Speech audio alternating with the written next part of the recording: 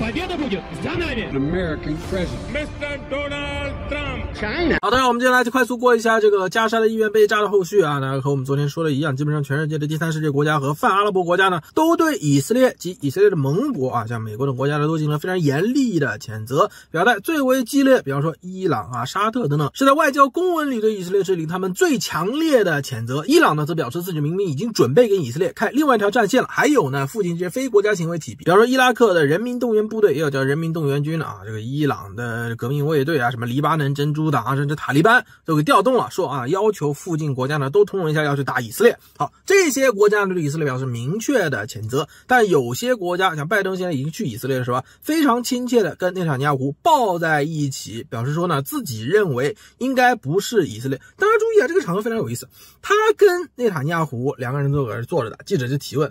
他跟记者说：“我觉得不是内塔尼亚胡做的啊，我觉得是阿 Thirteen 是其他人干了一个事情，并且说呢，已经拆专人、拆安全部门的人去看美国的情报，到底这个问题是怎么解释的。但是在他说叫安全部门的人去调查之前呢，五角大楼的发言人已经出来说了啊，就是跟以色列说的一模一样，以色列说什么就是什么，就是吉哈德。”好，这个事情呢，成为了一个罗生门啊，公说公有理，是婆说婆有理。那我们之前讲过了啊，为什么现在国际舆论基本上更多的国家认为以色列呢，应该是要负主要责任的？因为呢，以色列这个大家都公认的是，他对加沙地区断绝了淡水、食品、药物。电网甚至啊柴油，这是维系人生存必不可缺的资源，而且呢流传出来大量大家都能够确认的确是真的啊死伤的照片，所以说有这么多人去世肯定是真的。炸与不炸，这些人这么密集的出现在那个医院，是你以色列去逼迫的啊，这是这些国家的人呢认为以色列无论如何应该对此负责的一个原因。但是呢，我们依然是要说啊，昨天视频也是说，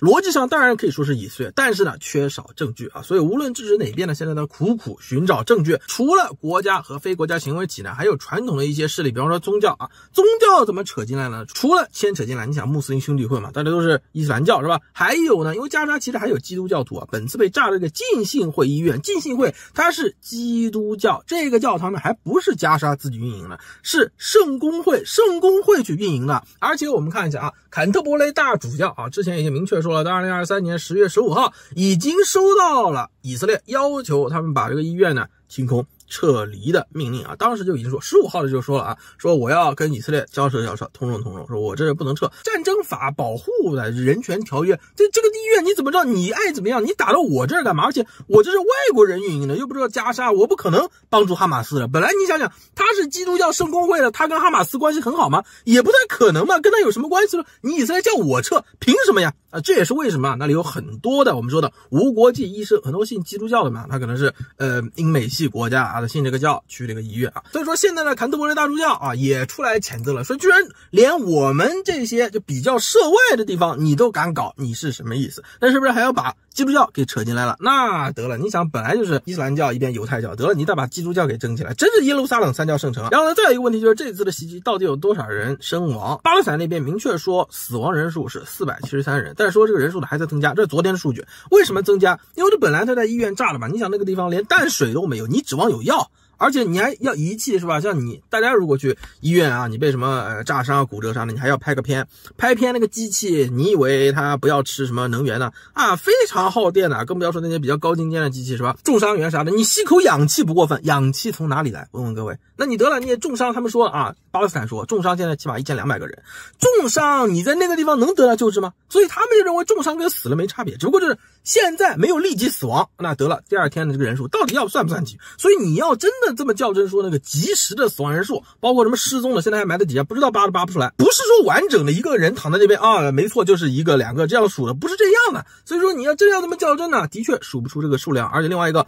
断绝的资源是吧？像路透社的记者还在那儿殉职了。所以说指望一个非常确定的伤亡人数，真的不太可能。除非你像联合国驻地这种，比方说啊，以色列，以色列时报人自己说的，有十一个联合国工作人员，三十个小学生在联合国的这个学校啊被杀。你想联合国庇护下的场所，它是安全区。他当然跟你说，到底一二三四五，跟你说的比较明白，对吧？既然有这么多的迷雾，当然全世界的网民肯定吵成一团了，是吧？你这是你的，我这是我们。看一下挖普底下这篇文章是挺以色列的，认为以色列说的就是对啊，就是哈马斯火箭弹自己炸自己。IDF 呢已经非常慷慨的跟大家共享了它的一定情报啊，你一般来说呢，凭什么给你共享？是吧？啊，我这机密的，愿意向全世界表示诚意，但是底下民众呢不太买账啊，说以色列国防军跟真相啊这两个的关系呢就是没什么关系，然后底下都是嘲讽他的人，哈哈哈，明明是哈马斯射错了，还有说啊美军已经证实了，就是伊斯兰吉哈德射的这个火箭弹啊，最后呢再有人来一个回旋镖，说那五角大楼证实的多了，五角大楼鲍威尔的臭名昭著，拿哎看见没洗衣粉啊，大规模杀伤性武器，当时除了他讲那个在联合国啊。五角大楼也是正儿八经出了报告说，他们确定了伊拉克就是有大规模杀伤性武器的。后来找到吗？没找到啊！包括以色列派个人也是明梗图去联合国拿了本圣经一本书啊，你看到没？这个就是我们的地契啊，地契里说了这是神圣的迦南地，留着难与密的土地，这个就是我们的合法性来源，这一样的嘛。所以网上呢肯定是吵成一团。那有没有什么确定的东西呢？当然有了。出了这么大的事，现场清理之后，我们是不是能看到什么弹坑啊？看到一些啊建筑什么损坏的啊，车辆损坏的残骸？当然可以啊，这个是有的。这张图片我觉得这是最好的图片。来自 Guardian 啊，卫报非常不容易，他们也不知道怎么拍到这张图片，估计是无人机啊。这张图呢可以说是一览无余。那么在画面的中心，我们看到啊，有一个几辆车围起来，中间地面有凹陷的那个地方，现在是被普遍认为就是留下了那个弹坑啊。弹坑附近的这个车呢，车损是非常明显的，有的车干脆整个都被炸翻了，是吧？整个都翻倒在那边。呃，这里明确一下啊，就是原来昨天晚上的时候，这儿的车和人可是非常多的，围绕这个弹坑呢，中心越接近的这个车车损越严重，也是让。我们可以信服说这个车损应该是跟这个弹坑相关的啊一个原因。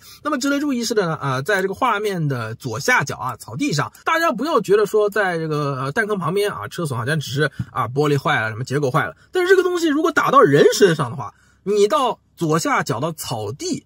昨天这个草地上啊，还有睡袋啥的，那个地方对人依然是有很强的杀伤性的啊，所以这也是符合我们之前跟各位预测的。IDF 已经跟当地民众呢，通过这个线下线上啊，你们赶紧去这个医院，医院呢他知道你们那儿会救人嘛，知道你们会把藏的那些呃柴油啊、淡水都去送去医院是吧？叫救人，所以呢就鼓励他们那些呃被赶走的居民呢，让你们不知道到哪儿去是吧？你们赶紧去医院吧。所以这些居民晚上确实是会聚集在医院附近去睡觉的啊，这也能够解释为什么伤亡人数。这么多，因为有的人现在就怀疑说啊，看这个弹坑好像很浅嘛，是不是你这个人数上面有撒谎啊？其实可能就什么几十个人。那个医院院长站在那儿发言说啊，我们医务工作者绝不后退的时候，他腿边啊。堆满了失去生命的，完全是因为相关法律法规和平台的创作限制，我不能放出来而已。在这点上呢，感谢搞点还专门加了一句啊，是进一步的佐证了之前跟各位下的一个结论，就是因为咱们说了那个撤离路线嘛，说以色列说安全，你们从那边撤，结果轰炸是吧？轰炸了，导致这些人不知道撤。还是不撤了，跟医院待的这些居民一样，是进进又出出去了，反正撤还是不撤又回来，是吧？所以呢，我们看卫报说啊，有很多居民白天晚上的来来回回就在这个医院附近。他医院不只是有救人的一个功能，实际上还承担了一个庇护所，甚至精神寄托的啊这么一个功能。你不知道去哪儿好，去医院吧，结果哐当一下炸了，是吧？当然，这里明确跟各位说的是，我们昨天啊刚发生这个事情的时候，大家普遍的讨论是不是美国给以色列那个航弹，航弹呢当量比较大，认为呢，第一，现在从弹坑上来看，弹坑。比较浅啊，另外一个呢，好像这个车啊，这附近的这个车造成的车损还没有这么严重啊。中心区虽然车翻过来，对，这是翻过来而已。所以呢，你是不是真的是航弹啊？有没有可能以色列说的是对的啊？是火箭弹？那么现在呢，那些懂军事的啊，警卫大队长、退役将领啊啥的，在意的就不太愿意出来说话啊。中立那些国家的军队呢，也不太容易军事专家出来说话。但今天这个释出的内容呢，依然是不是决定性的证据，不能说明以色列那边是对的，也不能说啊巴勒斯坦那边指责以色列就是。对的，所以说依然打一个问号，为什么呢？你同样航弹可以达到这样的效果，你空中爆炸嘛，你不要啪到地上再爆炸。另外一个，你看起来个爆炸效果比较小，那你可能就是当量比较小呗。那又不是以色列现在没有那个当量比较小的航空的炸弹，对吧？它是有的，而且之前自己改装用过，所以依然是符合。满足航弹的啊这么一个推理需求的。那么另外一个方面呢，就是假如是火箭弹的话呢，呃，阿拉伯这边呢军事专家提出一个问题，人以色列不是自己吹自己有铁穹嘛？你要真的是加德打的，什么铁穹应该去拦截，如此说，反正这个军事专家去讨论的事情了，对吧？我们现在只是说进一步试出的这个。呃，内容无法作为任何一边的决定性证据啊，所以说现在世界的主流舆论依然是认为以色列应该为此负责，并且呢，就是以色列啊打的这个航弹。那么有意思的是呢，你争去争，对吧？那边的老百姓呢是等不了了，因为以色列依然在实行他们这个非常严厉的封锁啊，所以昨天这个是他们稍微松一点，对于电网的限制呢啊，有大批的当地民众的报道出来了。当地民众现在关心什么？比方说啊，我们来看一下这一篇报道呢，是专门采访了一个癌症病人。你看，癌症病人是吧？癌症病人要什么？要吃药，而且要放化疗啊！你癌症病人这些药，你是巴勒斯坦的自己会造的吗？不是，你靠进口是吧？啊，以色列不许药进去，怎么办呢？所以说这个人啊，当着记者的面啪啪啪摆出来。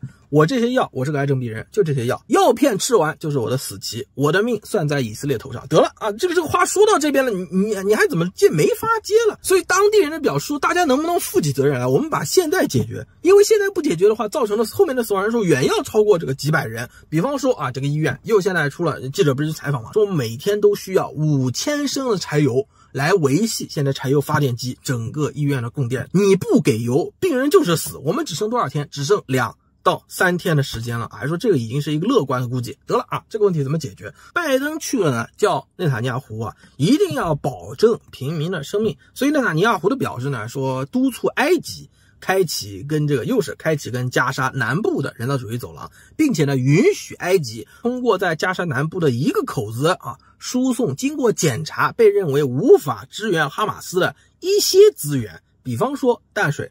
和食物，但是药品能不能进去，现在也不知道啊。还有能源，因为你想啊，柴油发电机，柴油发电机，柴油是战略储备啊，柴油它可以驱动一些机械啊，所以柴油进不去，你这个问题不还是没解决吗？至于别的一些，比方说礼节性的啊，拥抱被这个哈马斯扣了人质的这些以色列人呢，我们看见这。